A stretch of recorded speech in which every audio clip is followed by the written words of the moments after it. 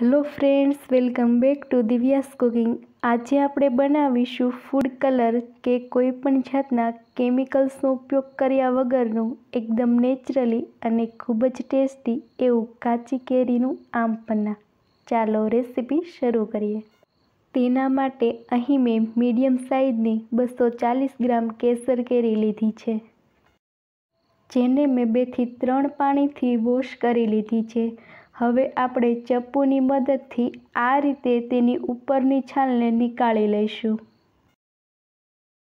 કેસર કેરીની જગ્યાએ બીજી કોઈ પણ વધુ ખાટી ન હોય અથવા તેની અંદર વધુ રેસા ન હોય તેવી કેરી પણ લઈ શકાય.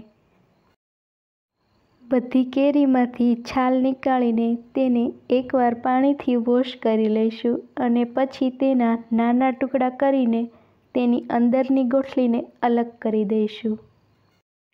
બધી કેરીના આપણે આ રીતે મીડિયમ સાઇઝના ટુકડા કટ કરી લઈશું.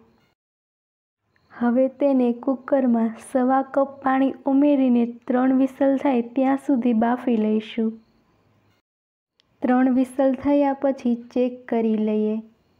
ચમચીથી આ રીતે પ્રેસ કરીએ તો એકદમ સારી રીતે બફાઈ ગયા છે.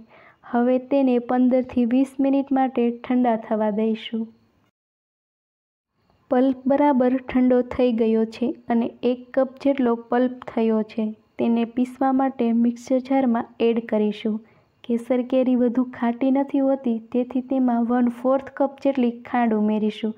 જે કેરી આપણે લીધી હોય તેની ખટાશ મુજબ ખાંડ વધુ ઓછી ઉમેરવી. હવે તેમાં ઉમેરીશું એક ચમચી શેકેલું જીરું. તેની જગ્યાએ શેકેલા જીરાનો પાવડર હોય તો તે એક ચમચી ઉમેરવો અને પાંચથી છ નંગ કાળા મરી, પંદરથી વીસ નંગ ફુદીનાના પાન અને સ્વાદ મુજબ નમક અને સંચળ પાવડર ઉમેરીશું. હવે તેમાં અડધા કપ જેટલો ક્રશ કરેલો આઈસ અને અડધા કપ જેટલું પાણી ઉમેરીને પીસી લઈશું. હવે તેને પાતળું બનાવવા માટે તેમાં એક કપ ઠંડુ પાણી ઉમેરીશું અને પાણી એડ કર્યું છે તેથી ટેસ્ટ બેલેન્સ કરવા માટે ત્રણથી ચાર ચમચી જેટલી ખાંડ ઉમેરીશું અને ખાંડ ઓગળી જાય તે માટે ફરીથી તેને પીસી લઈશું. આ ટાઈપની કન્સિસ્ટન્સી રાખીશું.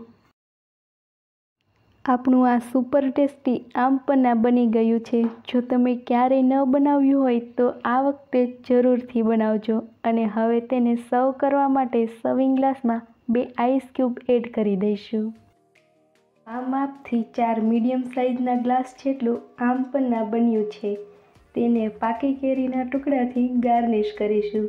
રેસીપી ગમે તો વિડીયોને લાઇક કરી, શેર કરજો અને ચેનલને સબસ્ક્રાઈબ કરવાનું ન ભૂલતા.